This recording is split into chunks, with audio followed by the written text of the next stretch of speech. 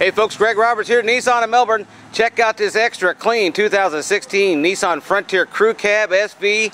One owner with a clean Carfax, only 15,000 miles. Nissan certified and inspected. Great vehicle for you and it's only $22,988. We'll walk around here real quick so you can see how nice it is.